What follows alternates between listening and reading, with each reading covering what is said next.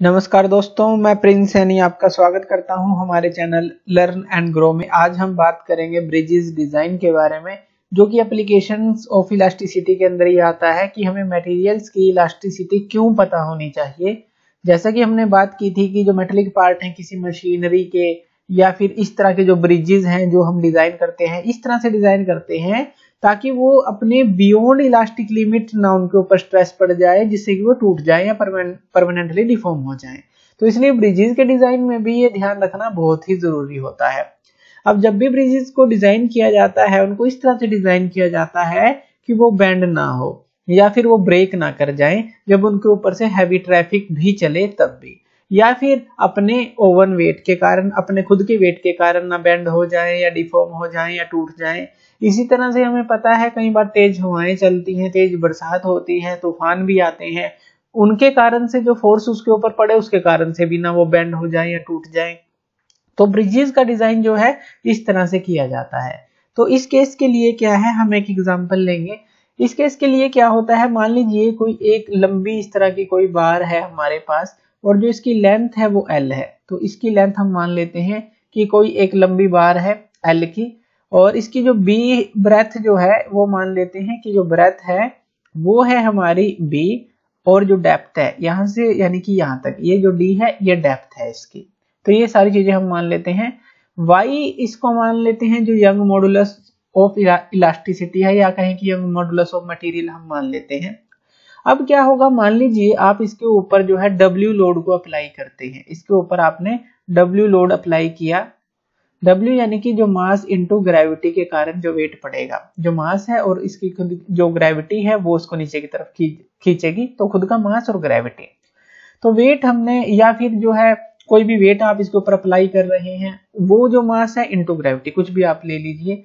तो वेट जो है आपने इसके ऊपर अप्लाई की, किया मान लीजिए आपने मिडिल में इसके अप्लाई किया है बिल्कुल। तो जो इसके अंदर डिप्रेशन आता है यानी कि जब आप इसके ऊपर अप्लाई करते हैं कोई बार ली आपने लोड अप्लाई किया तो इसके अंदर डिप्रेशन आया। डिप्रेशन यानी कि इसने अपनी शेप को चेंज किया। इस तरह से मान लीजिए इसने अपनी शेप को चेंज कर लिया। तो ये जो है शेप इसकी इस तरह से चेंज हो गई। हम ये वैसे ही मान लेते हैं कि इस तरह से चेंज हो गई।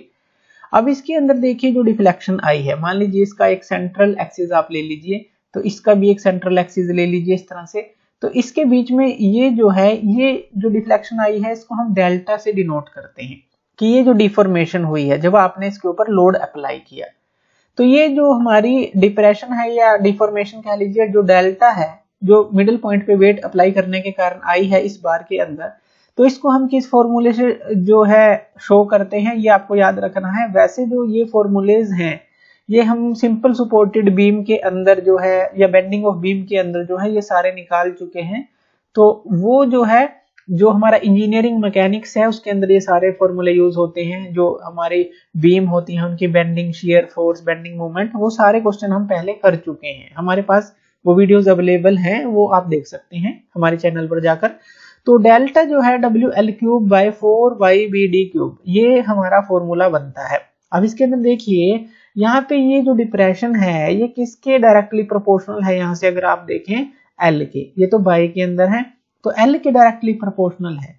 यानी कि अगर आपको स्मॉलर डेल्टा चाहिए, यानी कि स्मॉलर आपको डिप्रेशन चाहिए, कि ये ज़्यादा ना हो डिप्रेशन तो इसके लिए क्या होगा? जो एल होगा, यानी कि जो ये लेंथ है एल ये हमारी स्मॉल होनी चाहिए। तो जो लेंथ है, वो हमारी स्मॉल होनी चाहिए। तो यहाँ से एक तो ये चीज़ पता चलती है।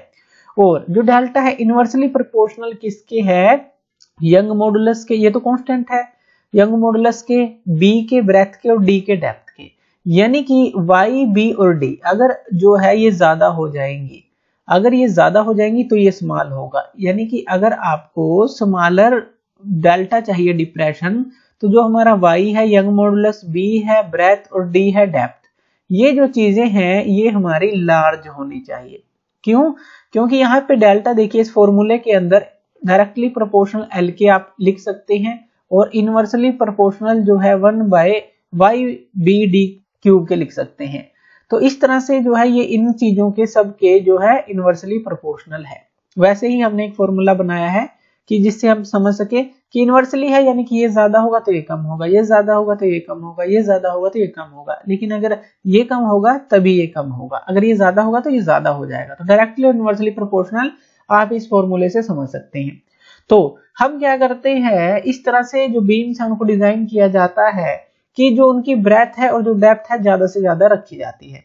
लेकिन यहाँ पर भी एक हमारे पास क्या चीज़ आती है? जैसे जैसे आप जो है डेप्थ को ज़्यादा ही बढ़ा दें। मान लीजिए, आपने जो है डेप्थ जो है, ज़्यादा ही बढ़ा दी किसी बीम की। इस तरह से कोई बीम मान लीजिए, और आपने इसकी डेप्थ को इतना बढ़ा दिया तो ये जो है, कई बार बीम जो है, अपने खुद के वेट के कारण ही बेंड हो जाता है।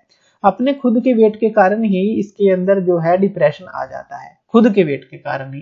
तो इस तरह से कई बार अगर हम जो डेप्थ को बढ़ा दें, ज़्यादा बढ़ा दें तो इस तरह का डिप्रेशन आपको देखने को मिलता है, जिसको आप एक टर्म का नाम देते हैं बकलिंग तो आप इसको बकलिंग ऑफ़ कॉलम बोल सकते हैं बकलिंग ऑफ़ बीम बोल सकते हैं, या ये जो बेंडिंग है, एक सिंपल आपने इसको टर्म नाम दे दिया बकलिंग अब ये जो बकलिंग है, इससे बचने के लिए हम क्या कर सकते हैं?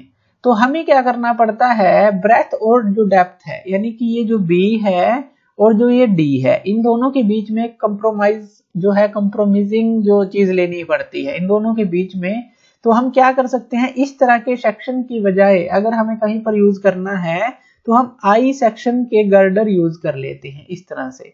तो यहाँ पर देखिए, इस तरह के जो, इस सेक्शन के हमारे पास अगर आप आई शेप गर्डर यूज़ करते हैं तो दोनों के बीच का यानी कि ब्रेथ भी आपकी हो जाती है और जो डेप्थ भी है आप ले सकते हैं। तो इस तरह का कंप्रोमाइज हम इसके अंदर ले लेते हैं जब भी ब्रिजेस को डिज़ाइन किया जाता है, जहाँ पर जो है हमें डेप्थ ज़्यादा रखनी होती है।